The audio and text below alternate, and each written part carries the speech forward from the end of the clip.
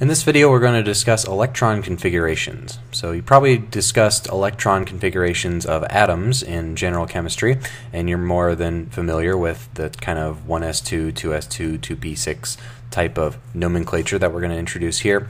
But now that we know so much more about quantum mechanics and uh, Hartree-Fock theory and atomic orbitals, we can put ourselves in a little bit better position to understand why uh, these electron configurations result and understand better uh, some of the exceptions to the rules that we have.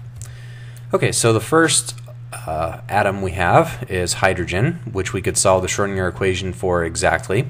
And that gave us these orbitals over here on the left in yellow, where we had each, uh, each quantum number n, the first number here of the atomic orbital, set the energy levels, and the 1s would be uh, one energy level available. At n equals 2, you had four orbitals, uh, 1s and 3p orbitals. At n equals 3, you had 9 orbitals, n equals 4, you had 16. And then the angular momentum being s, p, d, or f for L equals 0, 1, 2, 3, etc. So uh, using the Aufbau principle, obviously we want to fill up the lowest energy orbitals first. So for hydrogen, that meant that the ground state was going to have 1s1, or we're going to have one electron in the 1s orbital. Then going on to helium, we know for Hartree-Fock, we saw that using a spin, we can have one spin up electron and one spin down electron in that 1s orbital, one alpha and one beta spin. So that means we can put two electrons in that orbital through the use of spin and not violate the Pauli exclusion principle. They're in different spin orbitals, but the same spatial orbital. So helium, we have a 1s2 uh, configuration for those electrons. Okay, then lithium, we add the third electron. Uh, we again fill up the 1s subshell. So we have 1s2. Now when we get to the n equals 2 level, um, having these additional electrons makes these uh, makes these atomic orbitals not exact. So this nice uh, even splitting where we have all these energy levels uh, are proportional to 1 over n squared, and all of the different angular momentum values are degenerate. All of that gets broken by the fact that we have multiple electrons. So this degenerate, this non-degeneracy of all these different angular momentum values is just because uh, these are these atomic orbitals are now an approximation. These type of orbital approximations are are not exact. They are an approximation, and it just gets us in a position to understand uh, what the wave functions of many electron atoms would look like. And it turns out when you, when this happens, uh, s orbitals in the two in the n equals two state are lower in energy than the p orbitals. So the first orbital to get occupied is the 2s, so we have 2s1. Then beryllium, similarly, can occupy the 2s2. We have a spin up and a spin down electron in the 2s orbital, one alpha and one beta electron. So four spin orbitals, two spatial orbitals filled thus far. Then going into the p block on the right hand side of the periodic table, if we go to boron, then we're going to start filling up the p shell beyond that. If I kind of put some electrons in here, one, two, three, four, number five going in there. Then we have 2p1.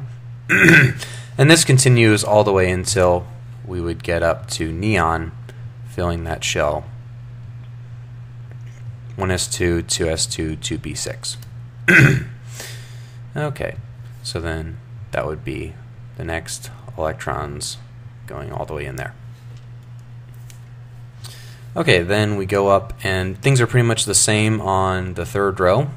Um, we have things like, if we pick an example like aluminum, we're going to have 1s2, 2s2, 2p6, 3s2, 3p1.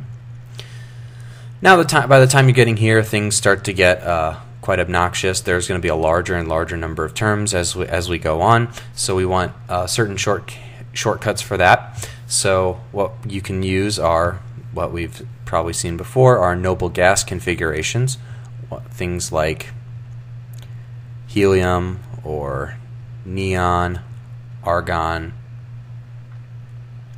uh, krypton, etc. And then just include what they call the valence shell, which is the uh, highest energy uh, orbitals beyond a full noble gas configuration. So for aluminum, that would be equivalent to saying, not argon, equivalent to saying neon, 3s2, 3p1. Okay, then when we go up to n equals 4, you start getting uh, confusing things that will happen, and you have the d orbitals start getting involved.